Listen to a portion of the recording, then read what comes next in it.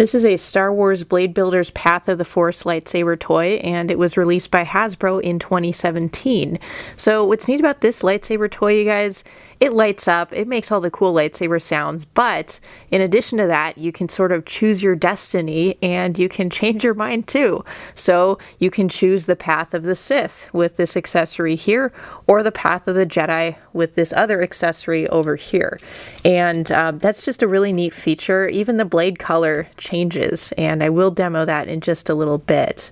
But the color schemes are really strong. You know, the Sith color scheme, it's got all of this black and red, very Sithy of it.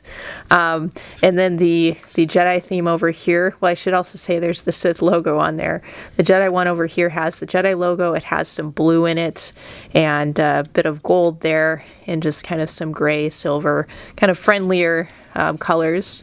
Although both of these um, accessories, you guys, are kind of neat. Uh, they, they have some spring-loaded features. So like this Sith accessory, for example, if I press this button, these legs kind of extend out. Legs or claws, I'm not sure what you would call them. So that's pretty cool feature. You could do some of them, or you could just fold up all of them and have them kind of spring out. So that's pretty cool, kind of spider-like in a way. Now the Jedi piece, uh, it also has a spring-loaded feature, and you might say, well, where is it? Um, so it's a little bit hidden. It's kind of behind this shield thingy. So you press this button here, bam. it's sort of like this knife. Um, it's all plastic, it's fine. Uh, this sort of plastic piece looks like there's little kind of um, lightning bolt thingies kind of in indented in it. So that's kind of cool too. But, you know, let's check out the lightsaber hilt itself. So you can see that the colors on this hilt, they're a little bit neutral, although there's quite a bit of black. So we have black, we have silver, um, we kind of have different colors um, from each of these accessories on there. Although you guys, there really is a lot of black. So I don't know, is this a Sith lightsaber or Jedi lightsaber? So uh, let's turn it on though. So see when I turn it on, it looks like that. The blade is brighter in, uh, in real life, you guys. Now if I turn it off and turn it on again, it becomes blue. So that's when I just have the hilt like this. Um, it'll just, you know, um, each time you press the button, it'll change colors. But if I attach the accessories, so like if I attach this Jedi one, which I do, I just kind of slide it in like so. That means it's registered, and now I turn it on, and it's going to be blue every time I turn it on. So I can turn it on, get that nice clashing action, as is really awesome with lightsabers. I can also do that little thing.